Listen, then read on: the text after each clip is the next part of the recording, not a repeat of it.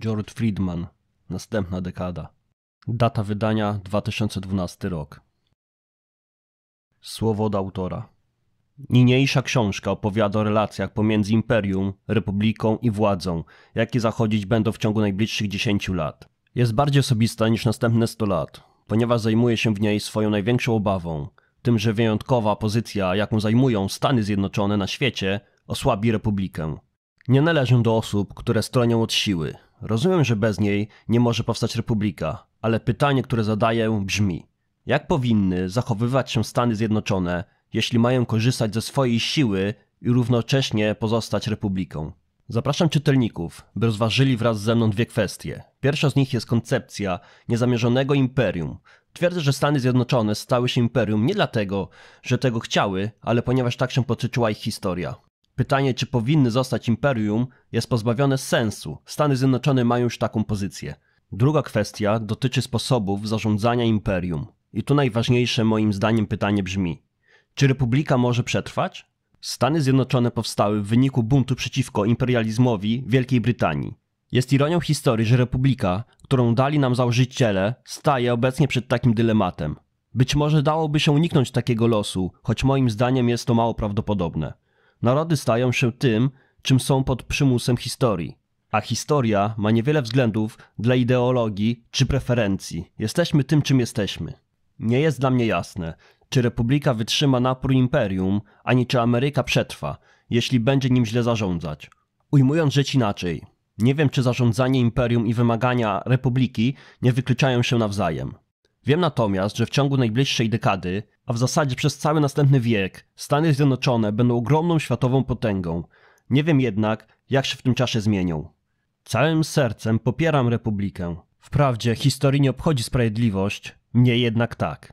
Bardzo długo myślałem o związkach pomiędzy imperium a republiką. Jedyny wniosek, do jakiego doszedłem brzmi: Jeśli republika ma przetrwać, jedyną instytucją, która może ją uratować, jest prezydentura. To dziwne twierdzenie, zważywszy, że pod wieloma względami jest to najbardziej imperialistyczna z naszych instytucji. Jednak równocześnie jest też najbardziej demokratyczna, gdyż tylko ona obsadzona jest zgodnie z wolą całego narodu, który wybiera jednego silnego przywódcę.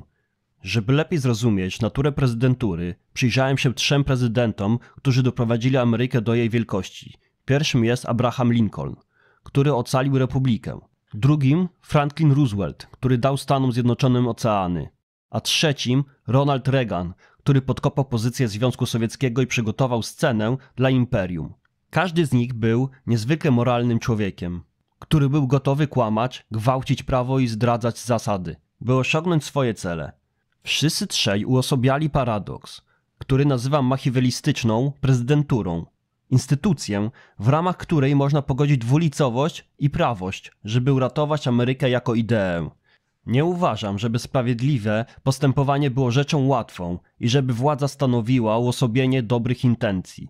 Tematem tej książki, którą podzieliłem na poszczególne regiony świata, jest zasadnicza myśl, że sprawiedliwość wypływa z potęgi, a potęga jest możliwa do osiągnięcia tylko dzięki pewnej bezwzględności. Dla wielu z nas będącej nie do przyjęcia. Tragedią życia politycznego jest konflikt pomiędzy dobrymi intencjami a koniecznością użycia siły. Czasami wynikiem jest dobro. Tak się stało w przypadku Lincolna, Roosevelta i Reagana. Ale nie ma gwarancji, że w przyszłości to się powtórzy. Dobro wymaga wielkości.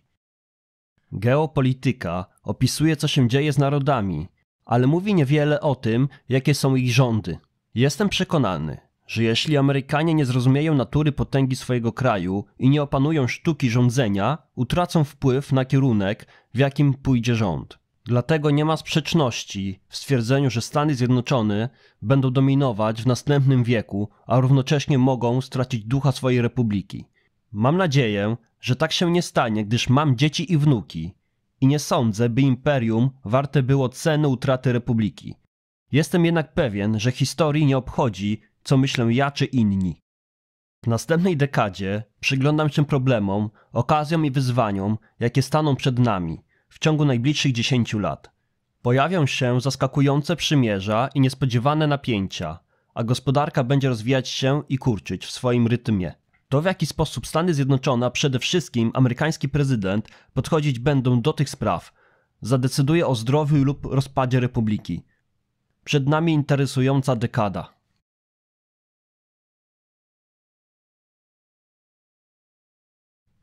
Ameryka w poszukiwaniu równowagi. Stulecie mówi nam o wydarzeniach, dekada o ludziach. Napisałem książkę Następne 100 lat, żeby przyjrzeć się wydarzeniom, które tworzą historię w długim okresie. Ale życie człowieka trwa zazwyczaj krócej niż cały wiek i kształtują go niewielkie przemiany historyczne, tylko konkretne decyzje konkretnych osób. Dlatego teraz zdecydowałem się napisać książkę właśnie o czasie obejmującym najbliższe 10 lat. Opowiada ona o rzeczywistości, przed jaką staniemy, o decyzjach, jakie trzeba będzie podjąć i ich możliwych konsekwencjach. Większość ludzi uważa, że odległa przyszłość jest najtrudniejsza do przewidzenia. To nieprawda. Najtrudniej przewidzieć działania jednostek. W ciągu 100 lat podejmuje się tak wiele indywidualnych decyzji, że żadna z nich nie nabiera kluczowego znaczenia i wszystkie gubią się w wirze najrozmaitszych osądów. W krótkich zaś przedziałach czasowych decyzje jednostek, szczególnie tych mających władzę polityczną, mogą odgrywać niebagatelną rolę. To, co napisałem w następnych stu latach, stanowi wprawdzie pewien punkt wyjścia do zrozumienia najbliższej dekady, lecz jest to jedynie pierwszy krok. Przewidywanie przyszłości to sztuka prognozowania, najpierw rzeczy niemożliwych, a następnie wyeliminowania wszystkich tych wydarzeń, które nie powinny zajść. Przynajmniej z punktu widzenia logiki. Jak to ujął Sherlock Holmes, jeśli wyeliminujesz niemożliwe, cokolwiek zostanie, bez względu na to, jak bardzo wydaje się nieprawdopodobne, musi być prawdą. Może się przecież zdarzyć, że jakiś przywódca uczyni coś wyjątkowo głupiego lub genialnego.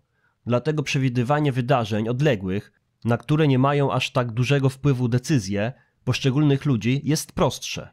Dysponując prognozą na cały wiek, można się cofnąć do początku scenariusza i przewidzieć najbliższą dekadę. 10 lat to okres dostatecznie długi, by zagrały w nim większe, bezosobowe siły i wystarczająco krótki, by indywidualne decyzje mogły wpłynąć na obraz wydarzeń.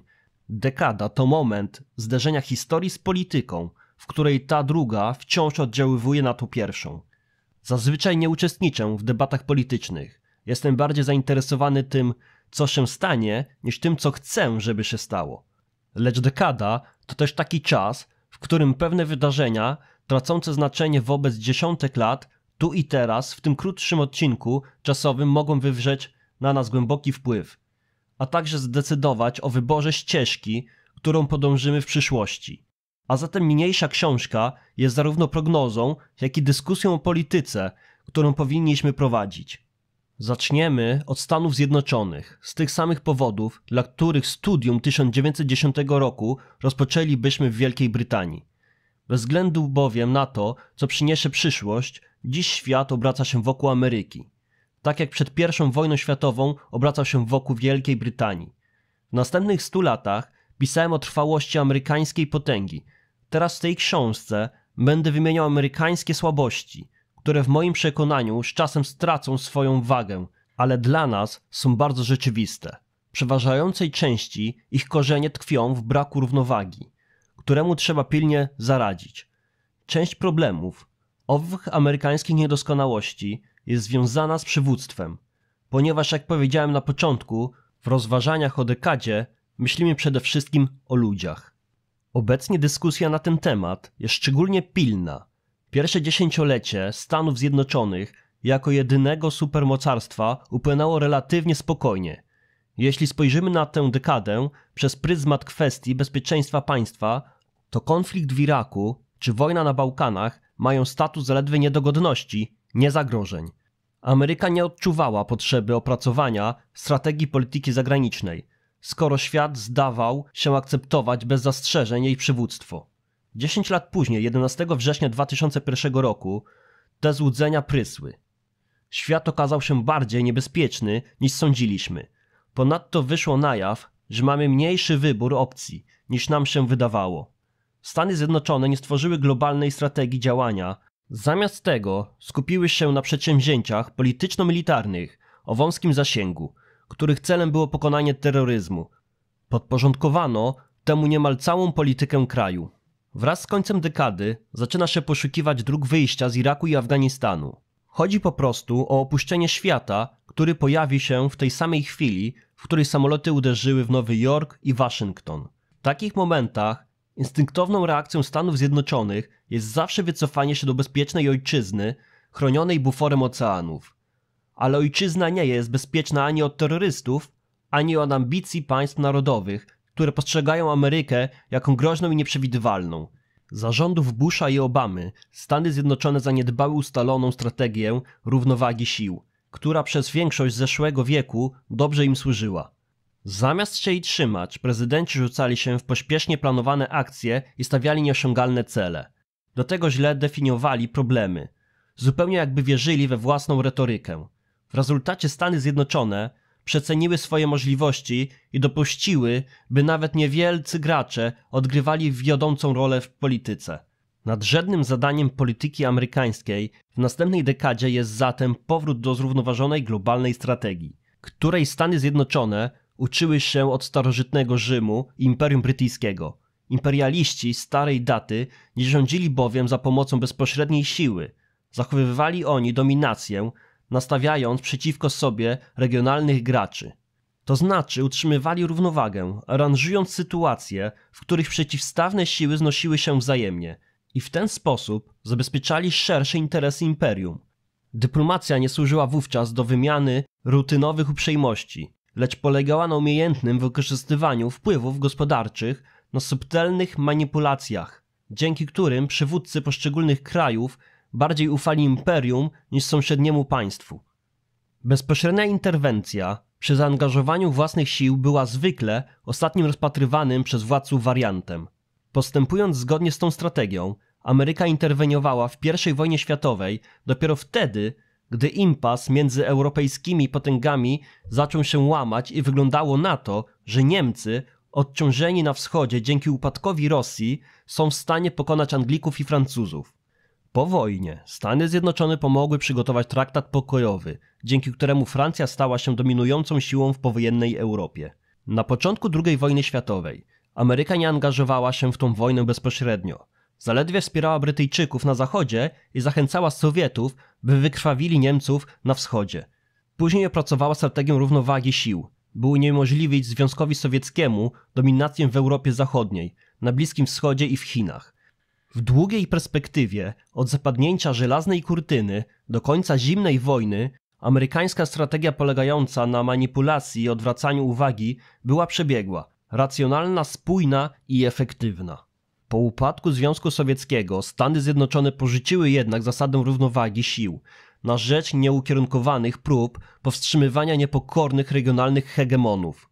W latach 1991-2000 Ameryka najechała lub interweniowała w pięciu państwach.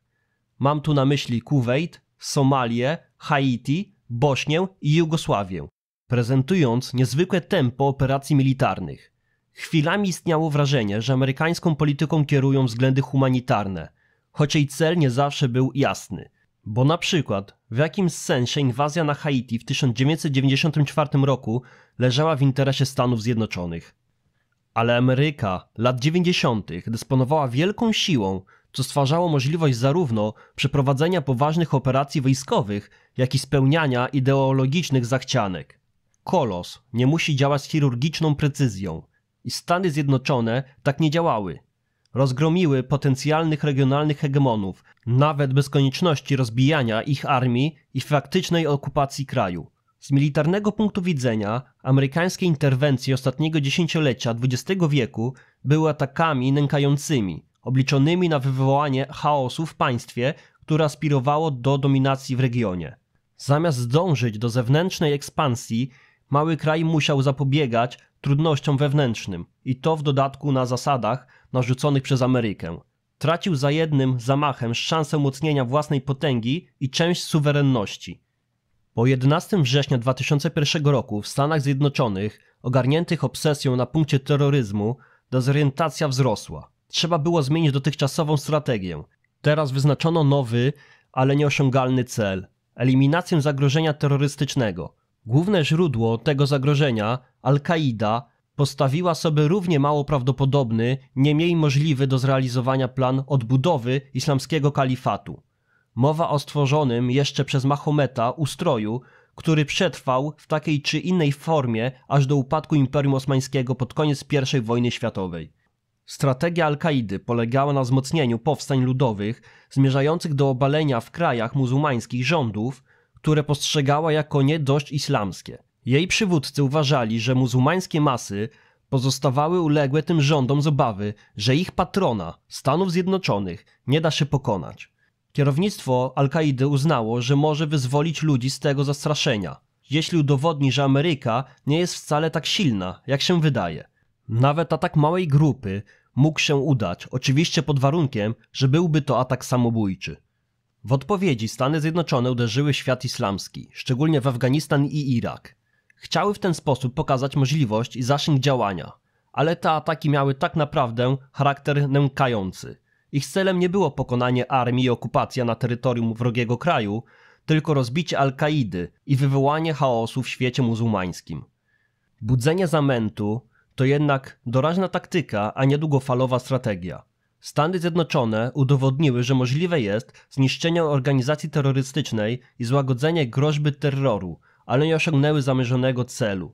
Całkowite wyeliminowanie zagrożenia wymagało monitorowania prywatnych działań ponad miliarda ludzi na całym świecie. Nawet sama próba dokonania czegoś takiego wyczerpałaby wszystkie zasoby Stanów Zjednoczonych. I tak właśnie się stało, bo wydatki okazały się niedoszacowane. Niekiedy pozbycie się negatywnego zjawiska jest tak drogie, że najzwyczajniej w świecie nieopłacalne.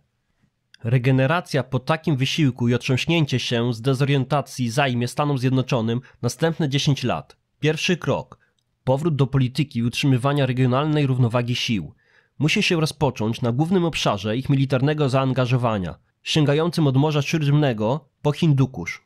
Przez większość minionego półwiecza istniały tam trzy lokalne równowagi sił: arabsko-izraelska, indyjsko-pakistańska i irańsko-iracka. Obecna amerykańska polityka zdestabilizowała je lub po prostu usunęła. Izrael przestał być szachowany przez sąsiadów i wykorzystuje uzyskaną swobodę do tworzenia nowej rzeczywistości. Pakistan poważnie osłabiła wojna w Afganistanie i obecnie nie stanowi on efektywnej przeciwwagi dla Indii. A co najważniejsze, upadek Iraku przyniósł Iranowi pozycję najpotężniejszej siły militarnej w rejonie Zatoki Perskiej. Przywrócenie równowagi w tym regionie, a potem w całej amerykańskiej polityce zagranicznej wymaga działań, które w najlepszym razie zostaną uznane za kontrowersyjne.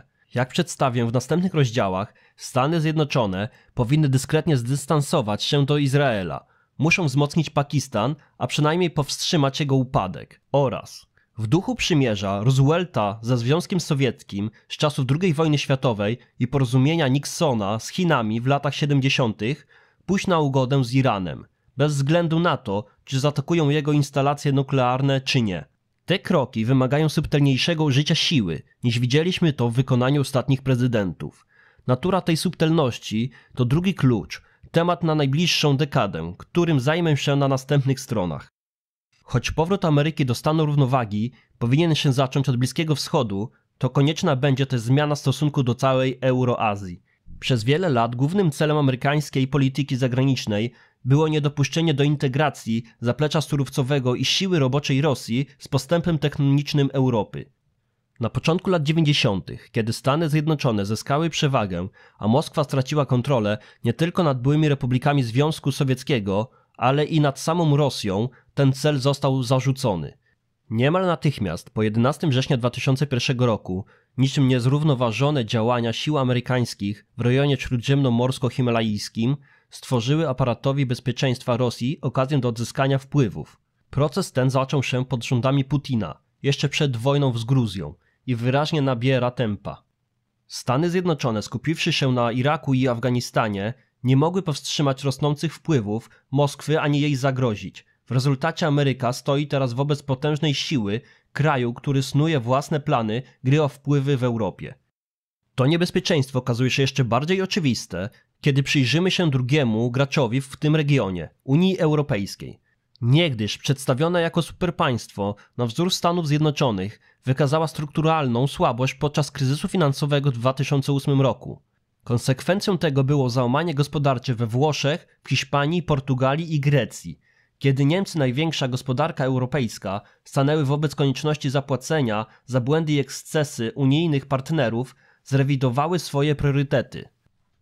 Nagle okazało się, że Niemcy potencjalnie mają więcej wspólnych interesów z Rosją niż ze swoimi europejskimi sąsiadami, bez względu na ewentualne korzyści, jakie mogą odnieść ze związków gospodarczych z Europą. Pozostają zależne od dostaw gazu z Rosji, ponadto potrzebują zastrzygu siły roboczej i to takiej, która nie wywoływałaby napięć społecznych związanych z rosnącą liczbą imigrantów. Budowa niemieckich fabryk w Rosji jest więc jednoznacznym rozwiązaniem tego problemu. Z kolei Rosja potrzebuje technologii, której Niemcy mają pod dostatkiem.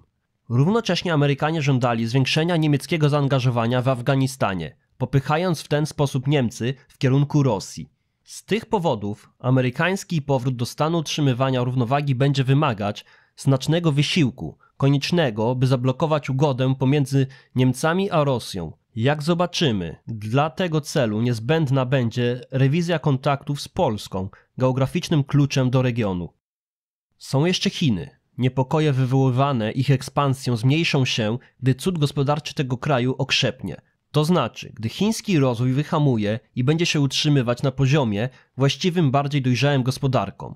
Wówczas uwaga Stanów Zjednoczonych skupi się na prawdziwej potędze północno-wschodniej Azji, Japonii, trzeciej największej gospodarce świata i państwie posiadającym największą flotę w tym regionie.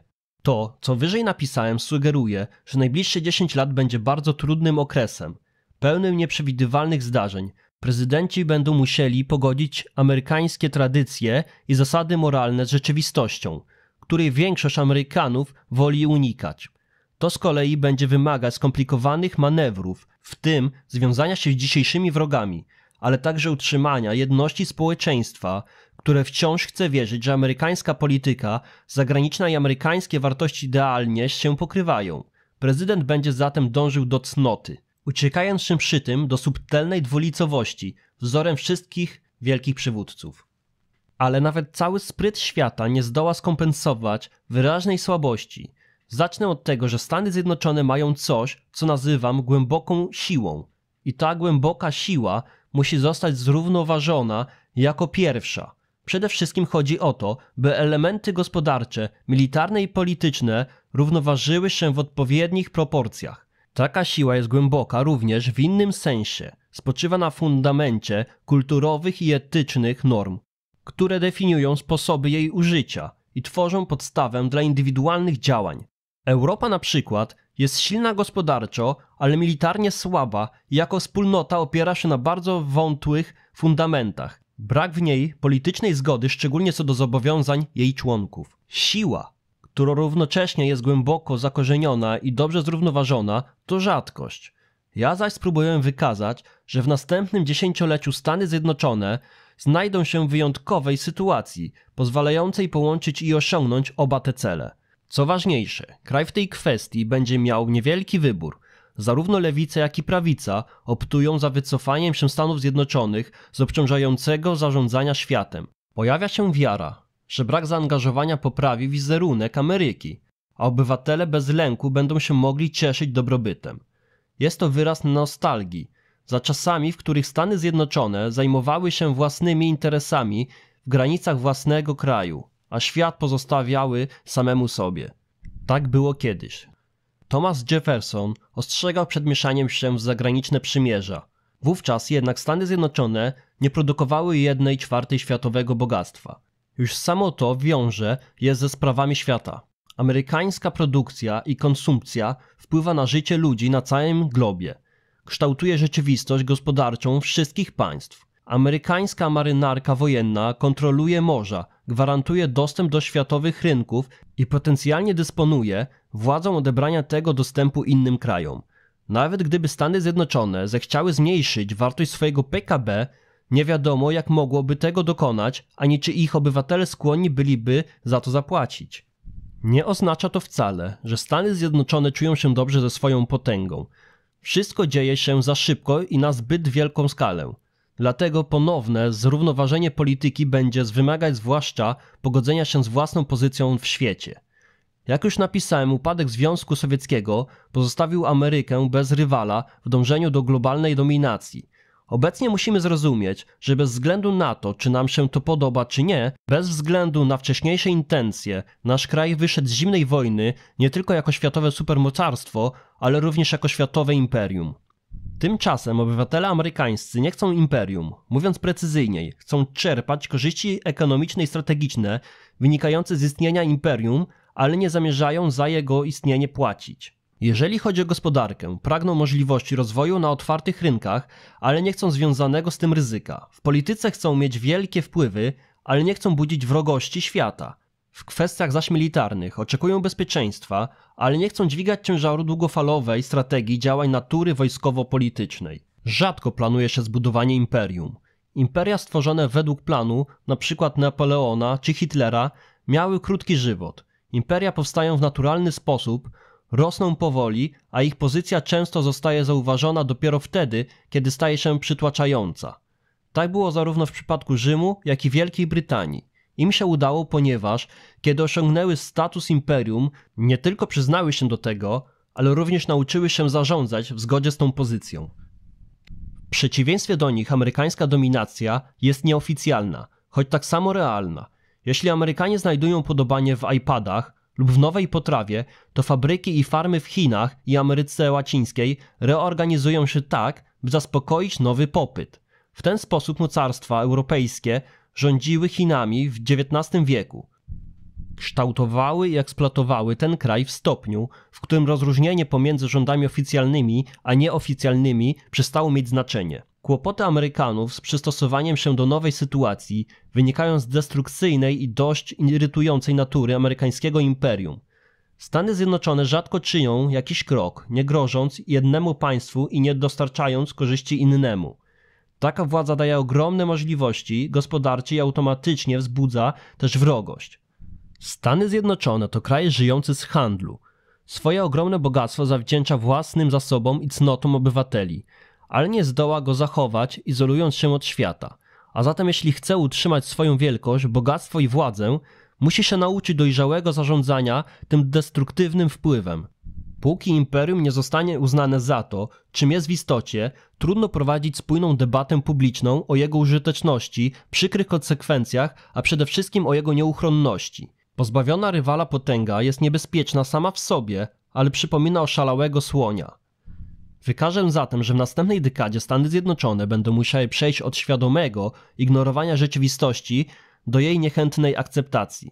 Wraz z tą akceptacją nadejdzie okres bardziej wyrafinowanej polityki zagranicznej. Nie będzie żadnego proklamowania imperium. Pojawią się jedynie efektywniejsze formy zarządzania dostosowane do rzeczywistej sytuacji.